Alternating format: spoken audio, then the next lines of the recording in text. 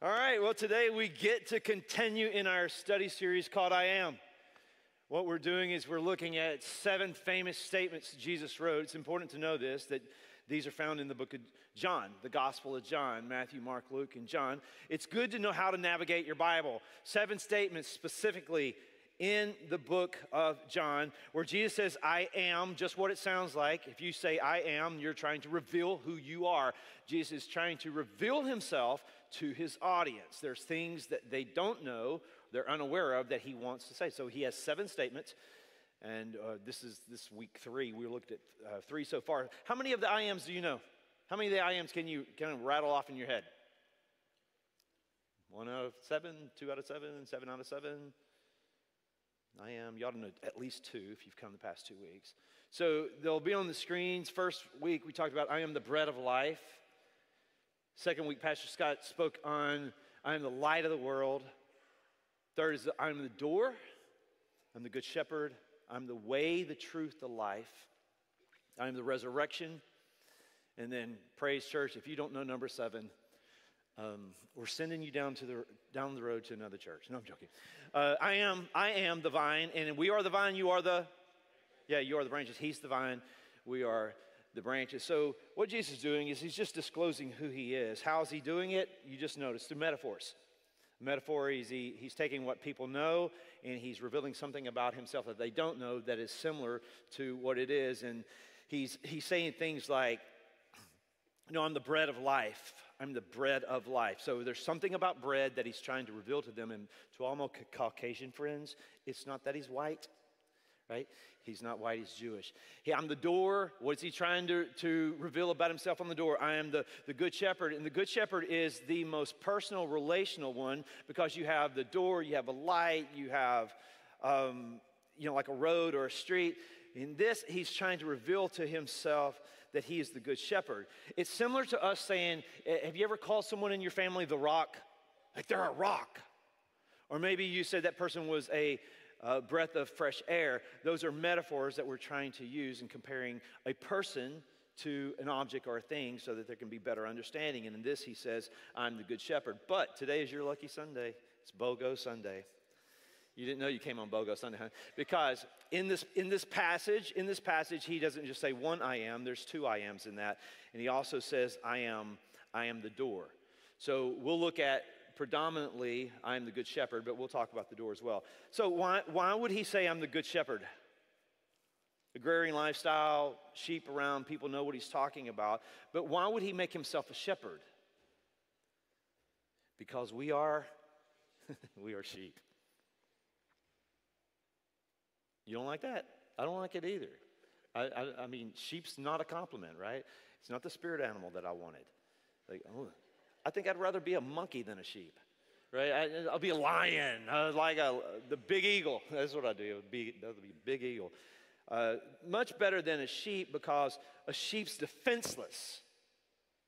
I mean, what's a sheep going to do to fend off a wolf? Go up, it has, has no fangs, no big teeth, no horns, no, nothing, like no major kick, no major. Uh, and they're defenseless. They're also directionless, directionless, easily get lost. Um, there's just many scriptures I can't pull off the top of my head. Um, we like sheep, there you go. We like sheep have gone astray, right? Why, why have gone astray? Because we're directionless. You're like, okay, yes, my husband's a sheep for sure.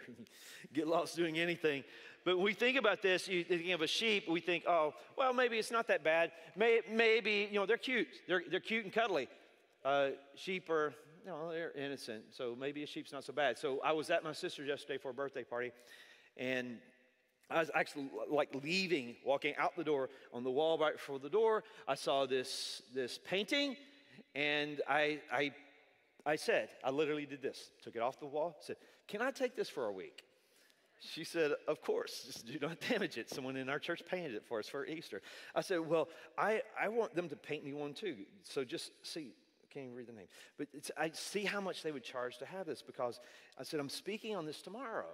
And I, I would love to be able to show our people. It's like a cute little sheep, right? Oh, isn't that cute? Can you get a tight shot on that? Like a tight shot. Like, like zoom. Zzz. No. There you get my picture with the sheep. What was it good? Like, See, that's what we like. Sheep. Sheep are so cute and cuddly. No, sheep are dumb. Sheep get lost. They have, they, they have no way to fend off anyone. And what Jesus is saying is sheep need a shepherd for a reason. Anybody need a shepherd? I, I, I, need, I need a shepherd. I need some guidance. I need someone to feed and, and lead me. so in this passage, if you're following along in, a, in a, like a, a real Bible, physical Bible, it's John 10. If not, you can flip to that. It'd be good to follow along. We also have, it, have the notes in the Praise Church app. So it's good to take notes. It's good to take notes. It's funny, you would never attend college classes. I don't think you would, and not take notes. So we create a learning environment. We want to learn. You remember what, what you hear by writing things down. So it just helps. So Jesus says, Truly, truly, I say to you, he who does not enter the sheepfold by the door, but climbs in by another way, that man is a thief and a robber. Everybody in the audience is tracking with him. Exactly. They know what this is like. Someone's climbing over the fence, not good news. Someone's got a ski mask on, they're, they're up to, they're, they're a sheep rustler, not a, a shepherd. He says, But he who enters the door is the shepherd of the sheep. To him the gatekeeper opens. The sheep hear his voice. He calls his own sheep by name, and then he leads them out. When he has brought out all of his own, he goes before them, and the sheep follow him, for they know his voice. What is Jesus doing? Jesus is trying to his audience, his original audience, he's just trying to say, Here's who I am. I am, and this is what, what, what I do. Says, verse 5 A stranger they will not follow, but they will flee from. Why?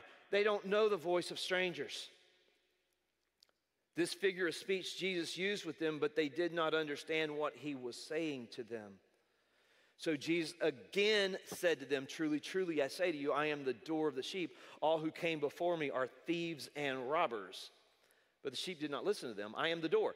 If anyone enters by me, he will be saved and will go in and out and find pasture. The thief, going back to what he mentioned the, the first of the story, he says, The thief comes only to kill, to still kill, and destroy contrasting himself, I came that they may have life and have it abundantly. Take away life, one comes to give life. I am the good shepherd. There's, now, now, there's a lot going on, right? He, he walks in, he goes to the gate, he's the door, now he's the shepherd. You can understand why they're, they're like going, What are you talking about? Like you keep jumping from this to this, all this symbolism, all this representation. Then he says, I'm the good shepherd. And the good shepherd lays down his life for the sheep. He who is a hired hand and not a shepherd, who does not own the sheep, sees a wolf coming and leaves, flees. The wolf snatches them, scatters them. He flees because he's a hired hand. He cares nothing for the sheep. But I am the good shepherd. Again, he's trying to reveal himself, self disclosure. I know my own, my own know me, just as the Father knows me, and I know the Father, and I lay down my life for the sheep. All right, sheep, shepherd, relationship. Not many shepherds here at Praise Church, so we have to dig in a little bit deeper to understand the relationship between these two entities, these two people. Um, now, now we can understand we can understand what it's like to take care of animals because we have pets, and we treat our pets like family, right? Some of you do. Of you treat your pets like family. You got little coats, little embroidery coats with their names on it. Uh, they sleep in your bed. They eat your food. They, they do all the things. You know what it is? Like, right? A shepherd is a keeper of the sheep. We have pets that we keep as well. I, I, I feed my dog. Well, I don't feed my dogs. My kids feed the dogs. Most of the time, they get to eat every day. Most of the time. Uh, very skinny dogs. um, uh, we talk to them. We I talk to my dogs. Uh, I talk to them in normal voices. My other family, the, the, other family members that live with me, they talk to me in very weird voices sometimes. Uh, just talk to them normal. Uh, we, my, my, dogs know my voice. Like when I come home today, I'm not going to walk in the door and say, you know, say something. My dogs are going to bark. They know my voice. Now you let somebody else, you let some Mormons knock on the door. Uh, you know, you let some Jehovah, whatever, whoever's canvassing the neighborhood at the time, they're, they're going to be barking, mailman, because they don't know, they don't know that, that person's voice. I name the dogs. We name the dogs. I don't name the dogs now. My kids name the dogs. But when I was a kid, I named the dogs. I didn't name them good, and they weren't cool names, but they were descriptive names. I got, we had rabbits. I had rabbits in the city, in the city of Groves. Can you imagine that? I had rabbits. Uh, it's where my dad taught me about the birds and the bees. Six years old. Hey, son, let's go to the rabbit cage. Okay. Too soon. Too soon, Dad.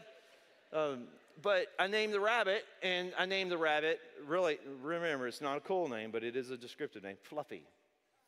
You know why I named him Fluffy? It's Fluffy. That's right. See, it's not cool, but descriptive. I named, I named the animals. I had a, I had a dog named Tippy. You know why it's Tippy? Had a tip on the end of its tail. Not cool, but descriptive. You've never met Tippy, but you know a little bit about Tippy. Uh, Tippy had a son named, uh, well, I named him t- the Tippy son TJ. You know what that stood for? That's right, Tippy Jr. So, there you go. So, you know, not, not, real, not real cool, but very descriptive, right? I named, now we have some cool names in the church. By the way, someone got a dog yesterday and I saw they named, they named their dog Goose. Very, yeah, very confusing for that dog. you know, it's like the dog, what am I? What am I? Well, you're, you're Goose. Okay, whatever. Uh, there is someone in the church, they named their dog, this is the coolest dog name ever on my books. Named him Dog. The dog's Dog. Y'all get it? The letters D O G. D O G. I was like, well done. So we take care. So we can understand a little bit about shepherding from the idea that we take care of pets. We protect our pets, we talk to our pets, we, we treat them well, we, we feed them. Now, what we're not going to do, well, I'm not going to do, I'm not laying down my life for my pets. Jump in the fire, it stinks being you. I'm not saving, I'm not saving the dogs. So that's how Jesus opens talking about this about his role. And then he opens up with this shadowy figure that's coming in over a fence, right? Any, anybody coming over a fence or over or window and not through the door is up to, up to no good. And then he contrasts himself to this person. In verse 2, he says, But he who enters by the door, he's the shepherd of the sheep. To him, the gatekeeper opens. The gatekeeper would be God. The sheep hear the voice calls his own sheep by name and he leads them out. When he has brought out all of his own, he goes before them and the sheep follow him for they know his voice. I love this part. I pray this over, over me. I pray this over my kids. A stranger they will not follow, but they will flee from him for they do not know the voice of a stranger. That would be a good confession to make. I do not know the voice of a stranger. I will not listen to the voice of the shepherd. I will listen to the voice of the good shepherd. I will not follow the voice of, a, of, of the stranger. So he says the sheep know his voice, which meaning the sheep can distinguish between the voice of the good shepherd and the stranger, which is very, very important because we're, you're, you're, like me, I'm like you. We're going to hear many voices within a day, have many, very, many thoughts about ourselves, many thoughts about our life, about who we are, what's going on around us. And you're going to have voices coming in at all sides. You're going to have, you're going to have the thoughts of coming in and you got to ask yourself, where's this coming from? Who's speaking this? Is this the good shepherd? Would the good shepherd say this to me? Or is this the voice of a stranger that's come over the fence, come to kill, steal, and destroy? You have to challenge the thoughts, you have to challenge the voices and the, the, the things that you hear. Because the voices are going to come. But do, do, you know, do you know your good shepherd enough to be able to hear their voice? Just like I could, I could pick out probably my family's voice from everybody in this room. I can have them talking, you talking. I can say, that's my wife's voice. That's my daughter's voice because I've been with them, I talk with them. I, are, are, we getting to a point where we can identify the voice of God? And I'm not talking about just in, in tone, like, I'm talking about vo- uh, an audible voice of God. I'm talking about in content. Would he tell you that, that you you know, your, your best days are behind you? Would he tell you you ought to give up? Would he lead you to certain places that sin is okay? Is he going to, no, say, I'm a loser. No, that's the voice of a stranger. I'm not going to listen to the voice of the stranger. I'm going to listen to the voice of the good shepherd. But you have to have an awareness, right? If, if you came to me and you said, Hey, Reg, your wife, your wife, I was talking to your wife today, and she told me that I was ugly. I say, Well, I'm joking.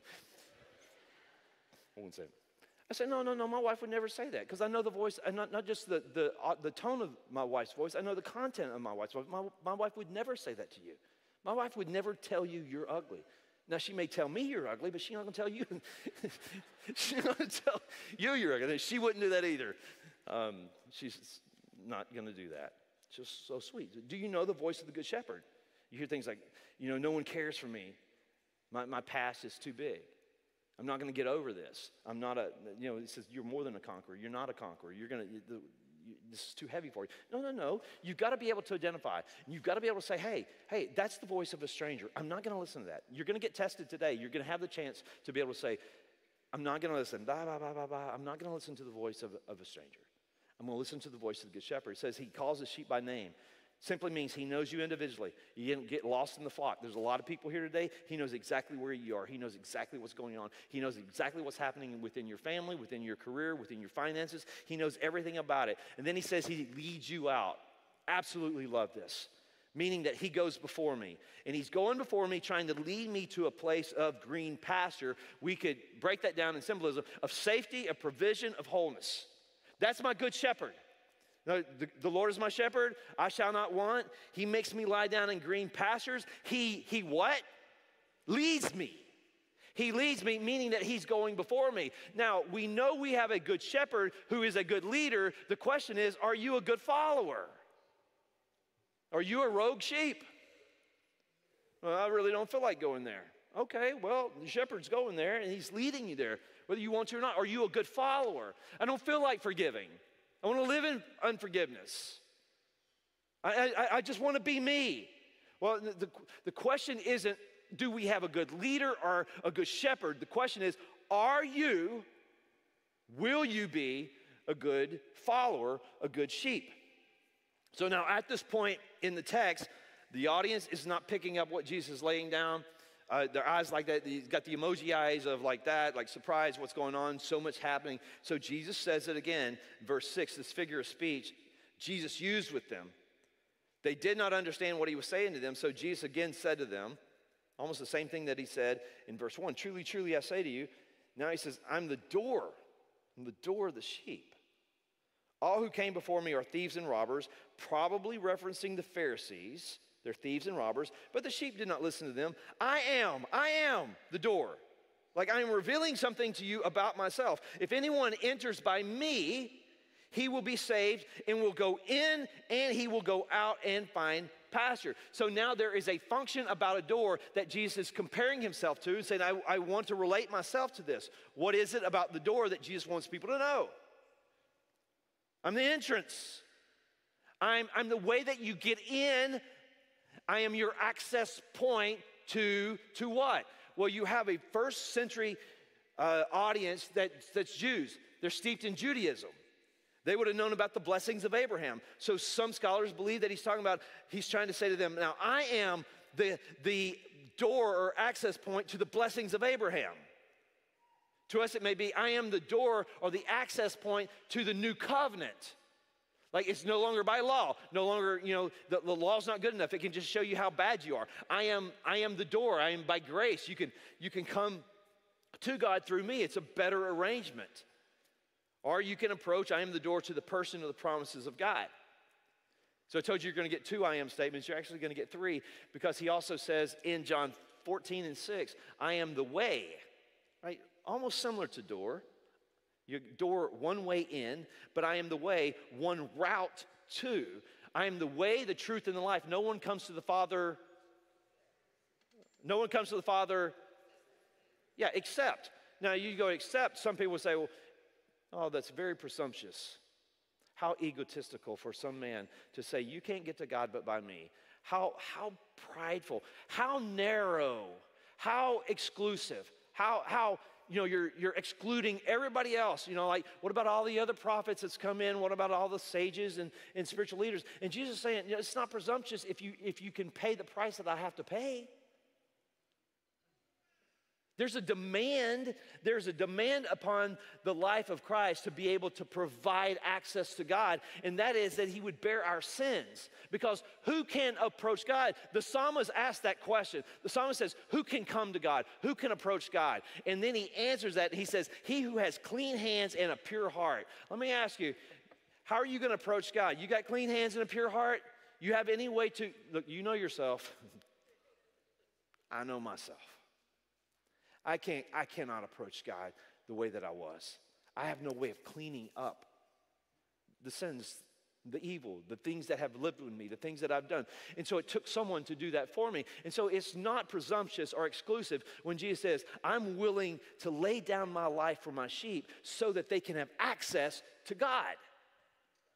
In fact, that's, that's, very kind because what, he's, what he is doing is he's saying you could spend your life trying to get to God by a lot of different doors, but there are, all, you're going to knock on it, it's not going to open, it's not going to take you to God. I'm just giving you a heads up, fellas, maybe what he was saying to his audience. I'm giving you a heads up that I want you to get to God and I can meet the demands that it takes to get to God. So I'm going to provide a way for you to get there. Just wanting them to know that that I am, I am the door, that He is your access to God. And I am so grateful that I have access to God. In fact, I have 24 access to God, 24 hour access to God. So, so good that anytime I can, I can approach the throne of grace, I can, I can ask God for help. I can go by myself because you know why that's good? Because I need God at some inconvenient hours. Anybody else? Anybody ever needed God at 5 a.m. in the morning? I mean, I've had some sleepless nights. There was a, a couple years ago, dealt with some anxiety. Man, at four in the morning, three in the morning, not being able to go to sleep. I needed to access God. I didn't have time to pull out the phone and call someone and get a voicemail and call a pastor or a priest or some spiritual person to say, I need help to get to God. No, I needed, I needed access to God right now. There's been time in my own car I've needed access to God now. Anybody ever been to Walmart? Yeah, you need access now. was in the hospital a couple weeks ago with a family member. We needed access now. Didn't have time to call a friend, didn't have time to call a staff member, didn't have time. It's like, I, I, God, God, we need you. We need you now. And so I can boldly come to your throne of grace and ask you for help. Why? Because Jesus was the door. He provided an entrance, an access point, a way in to God. You can access Him in your at work. Thank God. You can access Him in your car. You can access Him in the hospital. And, and this is not recommended, but if you get there, you can access Him from jail. And, it, and He has. And it says that you can access and find green pastures because of Jesus. Because of Jesus, I have 24 hour access to God.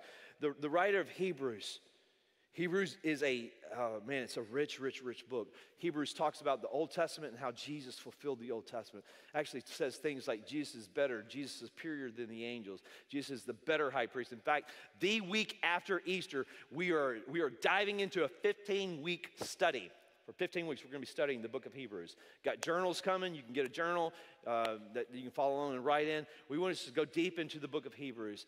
But the writer of the Hebrews says, Therefore, since we have a great high priest, and he's talking about Jesus, he ascended, went back into heaven, Jesus, the Son of God, let us hold firmly, hold firmly, embrace the faith that we profess. We do not have a high priest who is unable to empathize with our weaknesses.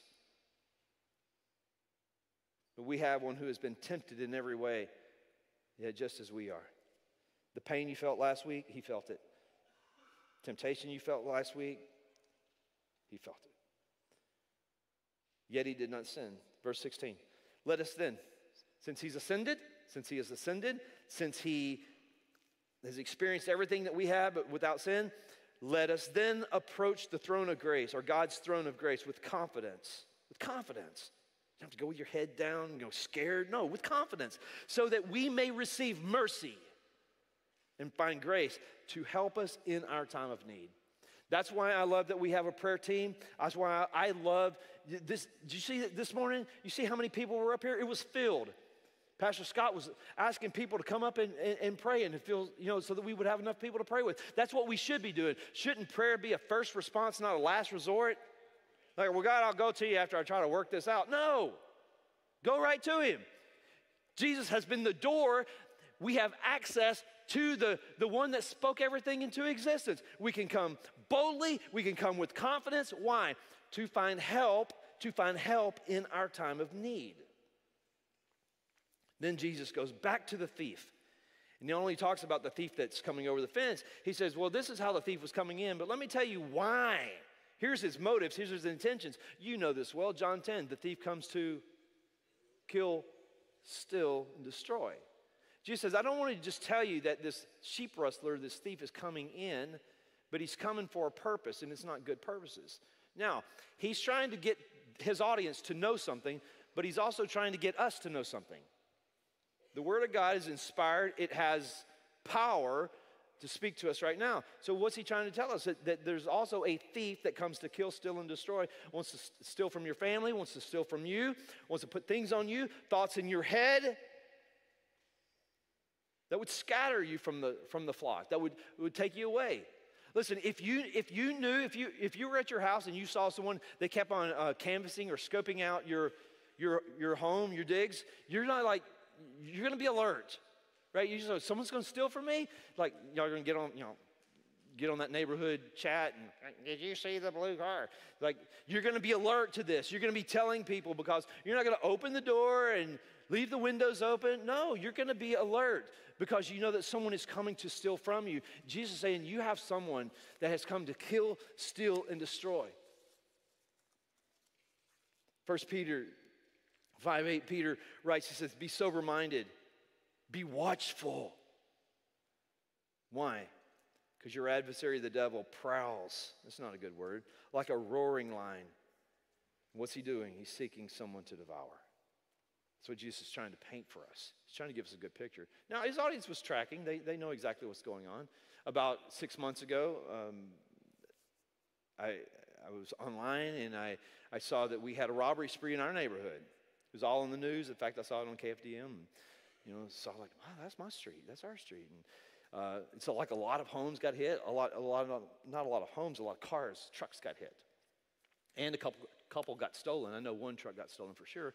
And so some people that we knew, you know, they, they, they'd been hit up.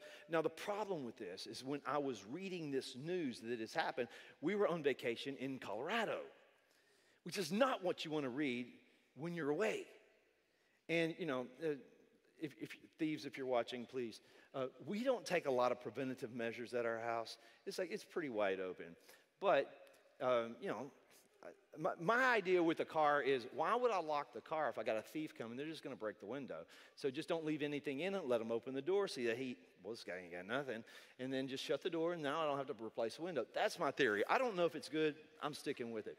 So here we are. I'm away. I'm, I'm uh, like late at night. It's like, holy cow, we got some thieves in our neighborhood taking cars and trucks, and no one's there. Wait, someone is there. My mom was there, right? And so, yes, I was like, shoo, sweet, mom's there. Because mom lives in a, uh, like, we've got a little apartment next to our home, and she lives in that apartment. And it was like, okay, mom's there. I'm not scared. I'm not scared for mom because I know this I'm scared for the thieves. That's right. You got a mom like that? Like, don't underestimate the wrath of a scared grandma. Like, man, mom's gonna, Mimi's gonna have them on their knees, reciting the sinner's prayer. Like, don't steal, don't steal. Ten Commandments, return sevenfold. Yes, yes, ma'am. like, I'll give it all back.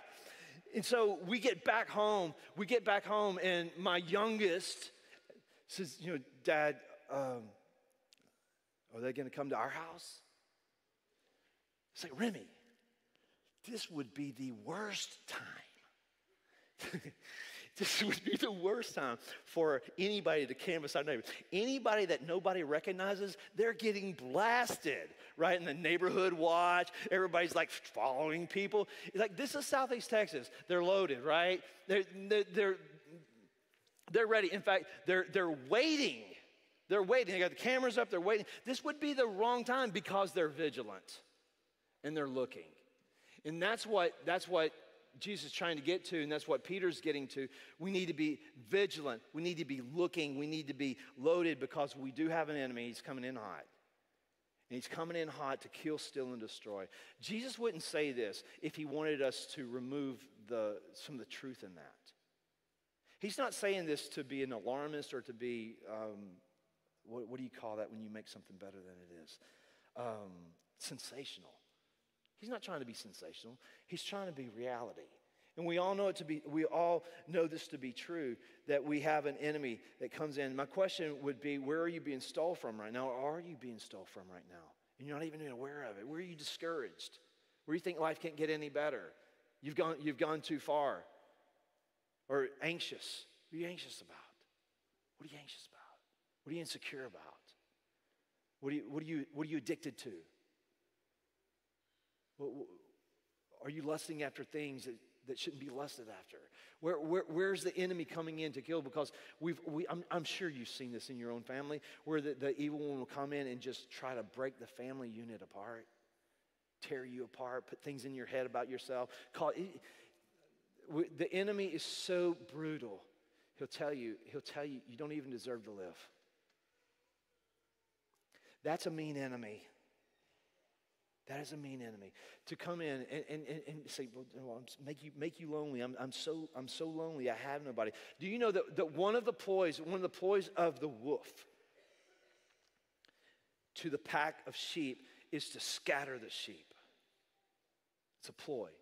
And the reason why it's a ploy is because there's protection in numbers, even if you're defenseless. See a bunch of people over there. That's why you don't, you know, don't walk in the parking lot alone. Have a friend, have a buddy, right? All, all those things because there's strength in numbers. The wolf wants to come and scare and fear and scatter the sheep because if he can scatter the sheep, then he can isolate a sheep. That's why scripture says, do not forsake the assembling of yourself together because there's power, there's protection in numbers, there's protection in being in the house of God on Sunday. Amen. Yeah. It's important. It's not just a thing to do, it's to be a part of. Like, well, I have been in Christian groups before and it's just too messy. No, no, no, no, no, no. Yeah, it's messy. You're messy. I'm messy. My family's messy. Life is messy. Like, you're going to pull away. I'm going to pull away and be by myself. And we're just going to do this Christian thing all by myself. No, no, no. That's what he's talking about. What you have done you've listened to the lies of the enemy. He has scattered you. And now you are isolated. And you are making yourself, you're in jeopardy now for to be an attack and have no, no help. No one cares for me. No, that's, that's the lie of the enemy. No one knows how, how I feel. No one knows what it's like to be me. I think I'll just stay home on Sunday and I can podcast. You know, there's some great preachers. I'll listen to this person, this person, and I'll watch online. We can watch online. Listen, all in the safety of your home, out of the protection of the flock, though. It's very, very important not, not to allow yourself to, to get isolated from, from the pack. So Jesus then goes on and he says, I came that they may have life, have it abundantly. In other translations, I come that they have my life and have it to the, anybody would know what that would be, like the NIV, I think would say the to the full. I'm the good shepherd. The good shepherd lays down his life for the sheep. He who is a hired hand and not a shepherd, who does not own the sheep, sees the wolf coming, leaves the sheep and flees, and the wolf snatches them and scatters them. He flees because he is a hired hand. No one cares for the sheep and does not care for the sheep. I am the good shepherd. I know my own, and my own know me just as the Father knows me and I know the Father, I lay my life down for the sheep. I lay my life down for the sheep. So just going back, about to send you guys to close this out, but I, I wanted to like cement just a couple more points. He says, I came that you may have life and have it abundantly. You know, people say, well, is he talking about life now or life eternal? Both. If you would take that word I have come that Jesus spoke, I have come that they may have life. And if you would look at it in the original Greek, it would be Zoe, Z O E. And that means both life here and life eternal, meaning that I have come to give you life now, quali- the quality of life, a quality of life right now. I've come that you can have vitality and you can have wholeness and you have peace now and, and to come. But I've come that you may have life and that you would have it, as, as it says, to abundantly or, or to the full. And then he, then he ends it, he says, I lay down my life for the sheep, which means that he is willing to put himself in between you and the stranger. Where the hireling would say, Oh, there, there's a stranger You're the sheep, you stay there, or I'm gonna flee. And Jesus says, No, no, no, there's a stranger. Before you get to him or her, you have got to go through me. And if it takes me to lay down my life for my sheep, I'm willing to do it. That's the shepherd, that's the good shepherd that you have to watch over you. So Jesus is trying to communicate. I mean, we, we think about a shepherd, a, a, good shepherd, and a good, a good person uh, that would take care of their, their pets. They're going to feed the pets, they're going to, to protect their pets. Um, they're going to lead them and go before the pets. And you say, oh, that's so cute. And you, you remember, do you remember the, uh, the picture of Jesus with the sheep on his shoulder? Y'all ever seen that? He's carrying the sheep back to the pack. It says, Scripture says that he would leave the 99 to go after the one. You, remember that? Have you ever thought about why he would leave 99 to go get one? Like, why would you risk 99 for the sake of one? Just, just count your losses. It's, it's not bad. Uh, the reason is, is because there's protection in the pack of 99 and there's isolation in the pack of one. He would leave that. But I was reading, I was reading uh, some commentators and some some information about it. And it was saying, but we, we think it's so nice. You know, you think you're, so, so let's just, let me just role play a shepherd. Like if I'm, I'm the shepherd here and you're, you're sheep, I'm like going like, wait, wait, somebody's missing. Somebody here is missing. We gotta, we gotta put them down so we can call them this week. And that, that's how vigilant and aware he is of his sheep. Like, you know, like, like Bob's not here. Wait, Bob, Bob used sit right there. Where's, where's Bob at today? I, I'm missing Bob. And so he identifies that someone's missing. This is the good shepherd. He's trying to reveal himself. The good shepherd, uh, Bob's out. Bob's gone. Now, now he's willing to say, hey guys, y'all stay here and I'm going to leave and I'm going to go find Bob. And I'm going to look. And we think it's so cute that, you know, he's got like a sheep biscuit or something in his pocket. You know, draw the sheep real easy. No, sometimes the shepherd had to run after the sheep because the sheep is crazy. You ever felt like God ran after you? It's like, I, I know of people, look, I know of people here in this church that, that God has walked into crack houses and said, You're getting out of here. Walked into hotels so you shouldn't be doing this. There is no place that your shepherd will not walk, and it is not always super clean. It's not like the sheep's coming back on the shoulders all white and, and the shepherd's all white and everybody's smiling. No, there's some blood there, there's some dirt, there's some dirtiness, but the shepherd is willing to get into the mess and roll around, tackle you if he has to, flip you over like mutton button if he, if he needs to, to wrap your, wrap your legs together, throw you and say, whether you want to go back or not, you're going back because you have a good shepherd. That's the good shepherd that you have. I'm so grateful for that because there's some times that I needed, I needed him to get in there and get dirty. And so Jesus is trying to reveal himself to an audience, and he's also trying to reveal himself to you right now that you have a good shepherd. He'll feed you and he'll give you good stuff. He'll give you good stuff. Stuff for you. Man. He'll lead you, he'll go right before you. He's not gonna, he's not gonna drive you, he's gonna lead you and He also going to protect you. But when it's time to go after you, He ain't willing to, let's go. You want to get dirty? I can get dirty. Because if I have to lay down my life, in fact, if the shepherd has to become a lamb, I'll become a lamb. That's exactly what he did, so that we could have access. The shepherd became a lamb, so the sheep could access, access to God, give his own life. Amazing. Amazing. Amazing. I want you stand with me. I, I want to call you to, to a couple responses. Just stand. I mean, no, we shouldn't just listen to the word of God, but we ought to do what it says. Amen?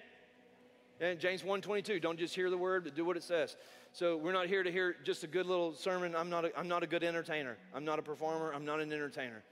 So we present the word of God as best as we can, and now we say, what do we do with it? What do you do with it? How does this apply to your life? I'm going to give you three, three things to think about. And then we're going to sing a song that you're going to want to save to your playlist. It's going to be incredible, and you can make, make a commitment. Here's your three things. Are you, how well are you distinguishing the voice of the good shepherd versus the stranger? He's coming. He's talking to you tomorrow. He'll tell you all the bad things about yourself. Are you going to believe that? He's coming to tell you about what you can't do. Or you have the voice of the good shepherd. Number two, Have you allowed the wolf to isolate the sheep, to isolate you, scatter you, pulled out of groups, pulled out of church, pulled away from Christian friendships? Come on back. Get on back into the flock. And then number three, and this is for people who you're like, you just don't have a relationship with God and you feel so far from Him. Um, has He become your door? Have you walked through the door? Have you had access into the throne room of God? And if not, today is an incredible day to say, God, I, I, I, want you to be my shepherd. I know that you're the door. You laid down my life. And I, I, I need you as my shepherd to save me. That'd be a great place to start. So let's sing this, let's sing this song together as you like let this stuff sink from here to here and how this actually applies to your life. Let's sing.